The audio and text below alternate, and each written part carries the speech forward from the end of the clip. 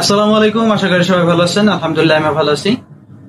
তো এর আগের ভিডিওতে আমরা কথা বলেছি পলিটেকনিকের শিক্ষাক্রম কীভাবে পরিচালিত হয় এবং পলিটেকনিকে ভর্তির টোটাল প্রসেসটা নিয়ে। তো পূর্বের ভিডিওগুলো যদি মিস করে থাকেন, আই বাটনে এবং ডেসক্রিপশন বক্সে লিংক দেওয়া থাকবে, সেখান থেকে দেখে আসতে পারেন। আজকের ভিডিওতে আমরা কয়েকটি টপিক নিয়ে কথা বলব। নাম্বার ওয়ান কেন আপনি ডিপ্লোমা ইন ইঞ্জিনিয়ারিং পড়বেন নাম্বার টু জিপিএ কত পেলে সরকারি পলিটেকনিকে চান্স পাওয়া যায়? নাম্বার থ্রি পলিটেকনিক বেশি গুরুত্বপূর্ণ নাকি একটি ডিপার্টমেন্টে চান্স পাওয়া বেশি গুরুত্বপূর্ণ। নাম্বার ফোর, পলিটেকনিক চয়েসের ক্ষেত্রে কোন কোন পলিটেকনিকগুলো সিলেক্ট করা উচিত? নাম্বার ফাইভ, সরকারি এবং বেসরকারি পলিটেকনিকের মান কি একই? নাম্বার সিক্স, কোন ডিপার্টমেন্টে পড়া উচিত? কথা না বাড়িয়ে চলুন, মূল ভিডিওতে চলে যাই। মূল ভিডিওতে যাওয়ার আগে আপনি যদি আমার চ্যানেল নতুন হয়ে থাকেন প্লিজ চ্যানেলটি সাবস্ক্রাইব করে পাশে থাকা বেল আইকনটি বাজিয়ে দিবেন, যাতে করে নতুন ভিডিও আপলোড দেওয়ার সাথে সাথে আপনি নোটিফিকেশন পেয়ে যান। আর যদি অলরেডি সাবস্ক্রাইব করে থাকেন, আপনাকে অসংখ্য ধন্যবাদ।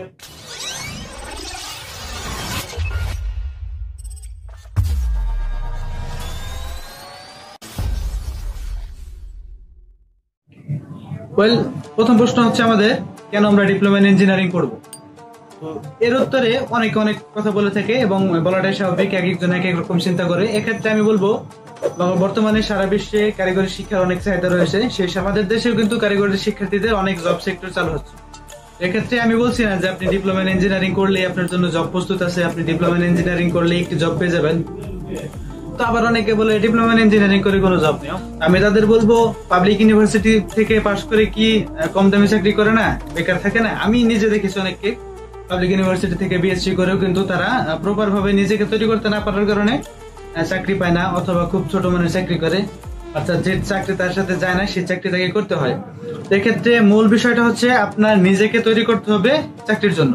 আপনার নিজের যদি অ্যাবিলিটি না থাকে, আপনি জেনারেলে পড়লে কি আর কারিগরিতে পড়লে ডিপ্লোমা ইঞ্জিনিয়ারিং পড়ার দিক হচ্ছে আমি বলব, যদি আপনি নিজেকে খুব ভালোভাবে তৈরি করতে পারেন ডিপ্লোমা ইঞ্জিনিয়ারিং করে, তাহলে কিন্তু অনেক জব সেক্টর চালু রয়েছে, সরকারি অনেক জব চালু রয়েছে। এরপর যদি আপনি বিএসসি করেন আপনার জন্য আরও বড় বড় জব কিন্তু অপেক্ষা করছে। আমার মতে ডিপ্লোমা ইন ইঞ্জিনিয়ারিং করার আরেকটা বিষয় হচ্ছে, যদি আপনি ডিপ্লোমা ইন ইঞ্জিনিয়ারিং অর্থাৎ এসএসসির পরে চার বছর পড়ার পর উচ্চ শিক্ষিত নাও হতে পারেন উচ্চ শিক্ষার দিকে অগ্রসর নাও হতে পারেন, তবুও কিন্তু যদি আপনি নিজেকে প্রপার ভাবে তৈরি করেন, তাহলে কিন্তু একটি জব আপনার জন্য প্রস্তুত থাকছে। তো এরপর যে প্রশ্নটি থেকে, জিপিএ কত পেলে সরকারি পলিটেকনিকে চান্স হয়?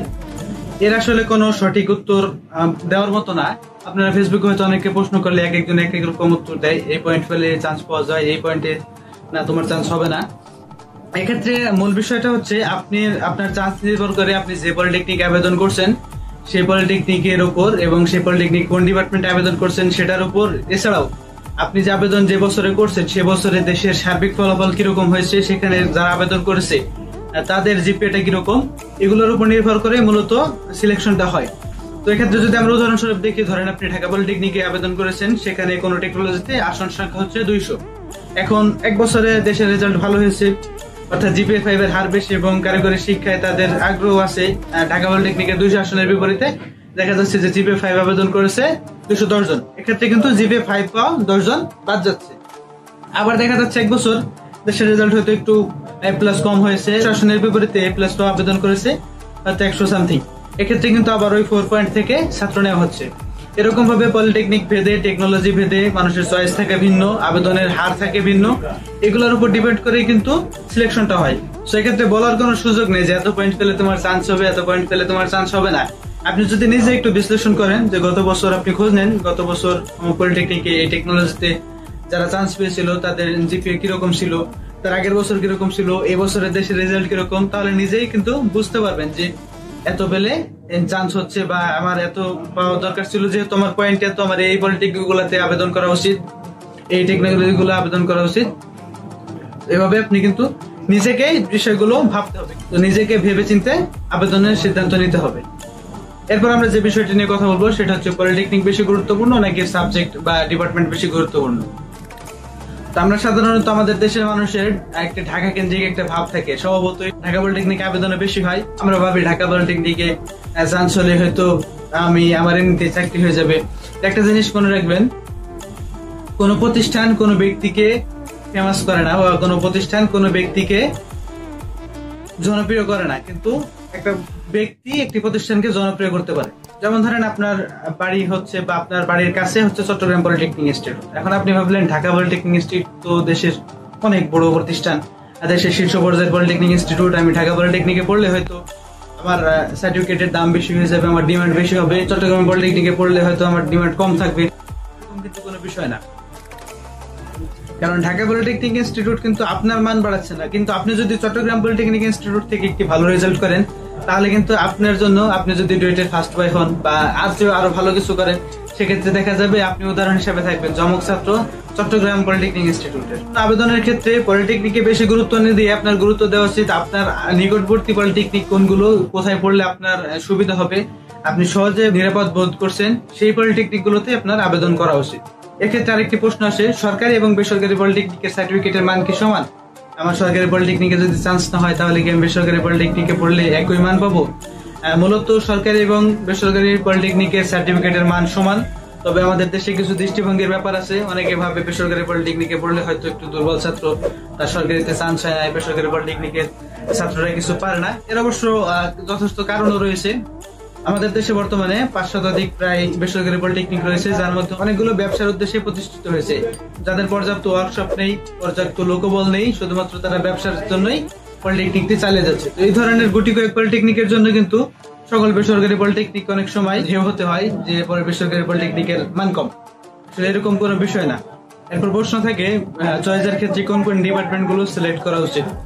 এক্ষেত্রে আসলে এক একজনের ক্ষেত্রে এক এক এক এক ডিপার্টমেন্টে পড়া উচিত। অর্থাৎ আপনার ধরেন সিভিল ইঞ্জিনিয়ারিং হওয়ার ইচ্ছা আছে সিভিল ইঞ্জিনিয়ারের দিকে আপনার শখ বেশি, কিন্তু আপনাকে ইলেকট্রিক্যাল পড়ানো হচ্ছে। সেক্ষেত্রে কিন্তু দেখা যাবে আপনি ততটা ভালো করবেন না ততটা ভালো করতেন সিভিল ইঞ্জিনিয়ারিং এ চান্স হলে।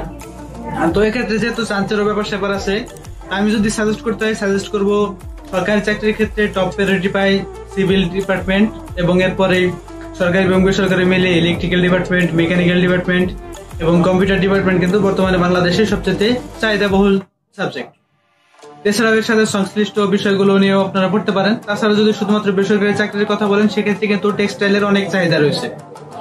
আর ডিপার্টমেন্ট সিলেক্ট করার আগে আমি আপনাদেরকে বলব, আপনারা অবশ্যই আপনার নিকটবর্তী কোনো মানুষের সাথে পরামর্শ করবেন কোন সাবজেক্টটি আপনার জন্য ভালো হবে এবং প্রত্যেকটা টেকনোলজি সম্পর্কে খুব ভালোভাবে জেনে নেবেন। অর্থাৎ সিভিল এবং কনস্ট্রাকশন কি একই রকম টেকনোলজি কিনা, এর পার্থক্যটা কি ইলেকট্রিক্যাল এবং ইলেকট্রনিক্স কি একই সাবজেক্ট কিনা, এর পার্থক্য কি, কোনটা পড়লে ভালো হবে, এই বিষয়গুলো অবশ্যই জেনে তারপরেই কিন্তু কিন্তু আবেদনের জন্য সাবজেক্ট সিলেক্ট করবেন।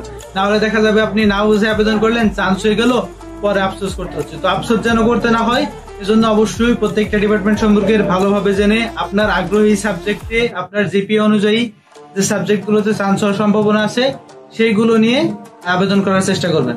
এরপরে যে প্রশ্নটি আসে, আমার হয়তো আমার পছন্দের টেকনোলজিতে বা কোনো ভালো টেকনোলজিতে সরকারি পলিটেকনিকে চান্স হয় নাই। এক্ষেত্রে কি আমার একটু কম চাহিদা সম্পন্ন টেকনোলজিতে সরকারি পলিটেকনিকেই পড়া উচিত, নাকি বেসরকারি পলিটেকনিকে ভালো টেকনোলজিতে পড়া উচিত? এক্ষেত্রে আমি বলব, যদি আপনার অ্যাবিলিটি থাকে, তাহলে আপনি অবশ্যই ভালো টেকনোলজিতে বেসরকারি পলিটেকনিকে পড়েন। কারণ শুধুমাত্র আপনি এমন একটা টেকনোলজিতে পড়লেন যার কোনো জব সেক্টর নেই, তাহলে তো সরকারিতে পড়ে কোনো লাভ হলো না। আপনার চারটা বছরই লস হলো। চারটা বছর শুধু লস নেই আপনি সারা জীবনে কীভাবে আপনি চলবেন সেই বিষয়টা নিয়েও আপনাকে তখন চিন্তিত হবে এজন্য সময় থাকতে, সুযোগ থাকতে প্রথমে ভালোভাবে সিদ্ধান্ত নিন যাতে করে পরবর্তী জীবন আপনাকে আক্ষেপ করতে না হয়। তো সর্বোপরি মোট কথা হচ্ছে যে টপিকগুলো নিয়ে আমরা আলোচনা করেছি, এগুলো নিয়ে খুব ভালোভাবে আপনি আপনার পরিবারে আলোচনা করেন, সব বিষয় সম্পর্কে ভালোভাবে জানেন। দেন আপনি আবেদনের দিকে অগ্রসর হন। হুট করে একটা ভাই পরামর্শ দিল, অমুক পরামর্শ দিল, এই ডিপার্টমেন্ট ভালো আমি আমার ডিপার্টমেন্টকে অবশ্যই ভালো বলব, আরেকজন আরেকজনের ডিপার্টমেন্টকে ভালো বলবে।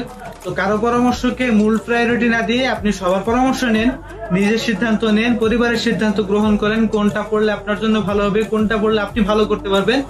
সেই বিষয়গুলো বিবেচনা করেই কিন্তু আপনার আবেদনের সিদ্ধান্ত নিতে হবে। কারণ আপনার লাইফ আপনার সিদ্ধান্ত। অন্য কারও সিদ্ধান্ততে গিয়ে নিজের লাইফটাকে নষ্ট করার কোনো দরকার নেই। আশা করি ভিডিওটি থেকে আপনারা উপকৃত হবেন। যদি কোনো তথ্য মিসিং হয়ে থাকে কোনো কিছু জানার দরকার হয় কমেন্টস করতে পারেন। এছাড়াও আমার সোশ্যাল মিডিয়া লিঙ্ক দেওয়া থাকবে ডিসক্রিপশন বক্সে সেখান থেকে আমাকে নক করতে পারেন। আমি আপনাদেরকে সর্বোচ্চ সহায়তা করার চেষ্টা করব ইনশাল্লাহ তো ভালো থাকবেন, সুস্থ থাকবেন। দেখা হয়ে যাবে অন্য কোনো ভিডিওতে। চ্যানেলটি সাবস্ক্রাইব করে আমাদের সাথেই থাকুন। আল্লাহ হাফেজ।